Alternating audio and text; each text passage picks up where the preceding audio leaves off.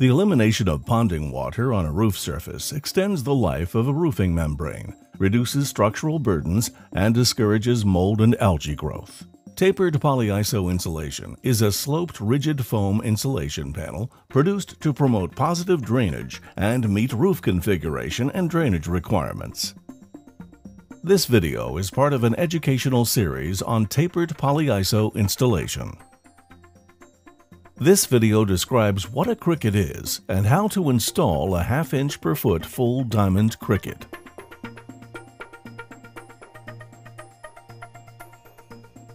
Comprised of tapered panels, a cricket is a secondary application of insulation that directs water to one or more drainage points, such as a gutter, a scupper, or internal roof drains. Crickets are comprised of a series of tapered and fill panels that are designed for specific rooftop conditions and tapered specifications. A cricket may come in many shapes and sizes quarter diamond, half diamond, full diamond,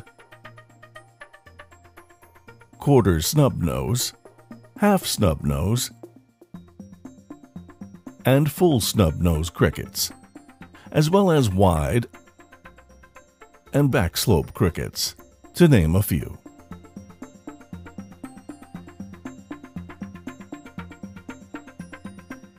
Here we are showing you a full diamond cricket. The distance from A to B is called the cricket length. On a full diamond cricket, the cricket length should run the distance between two drainage points on your roof. Point C marks your center point and is directly between points A and B. The distance between points D and E is called the cricket width. The cricket panel slope refers to the degree of slope used in the tapered cricket panels. A 1 2 inch per foot slope is very common.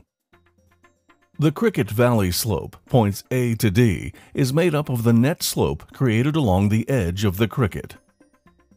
The X on the diagram marks the cricket angle, which is the angle between the corresponding lines A, B, the cricket length, and A, D, the cricket valley. Independent of the cricket installation, the roof will often slope. The measurement of this incline is called the roof surface slope. In this exercise, our roof deck slopes at 1 quarter inch per foot to a valley between two drains.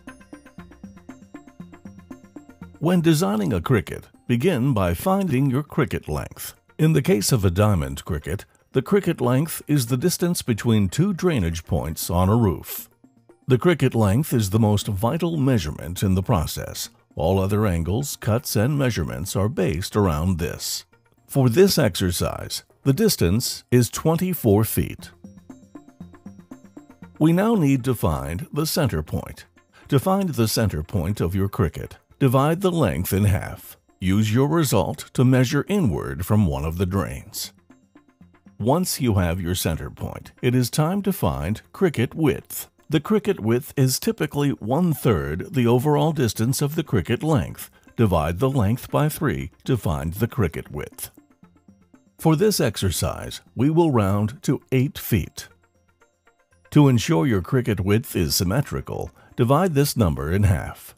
Use the result to measure outward perpendicularly from both sides of the center point. The cricket valley slope and cricket angles are determined by connecting the outside points. After mapping out the dimensions, we will find the cricket panel slope, which will determine what type of tapered panels to use. Typically, this value is calculated by doubling the roof surface slope. Remember, for this exercise, the roof has a 1 quarter inch per foot slope. So our cricket panel slope will be 1 half inch per foot slope. This formula allows for proper back slope, preventing water from running up and over the cricket.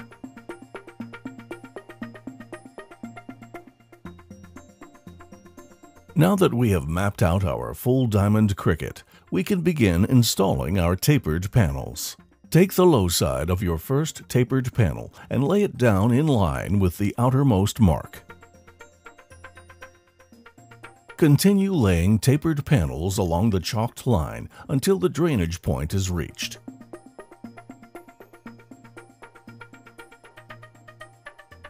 Now chalk a line between both drainage points.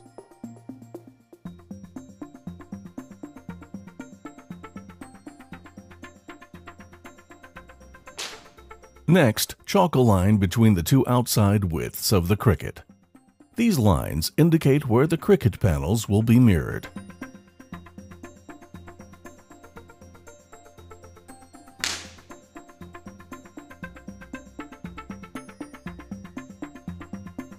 Cut the marked tapered panels along their individual markings.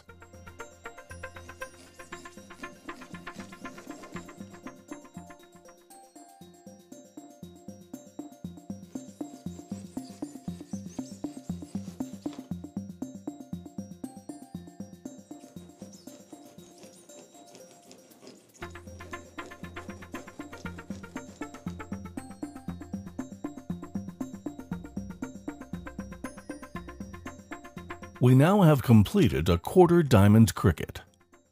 To create a wide cricket, take the previously cut panels and place them upside down, aligning the low side of the Q panels together. Cut along each edge to create a mirrored panel, which will be used to create the other half of a wide cricket.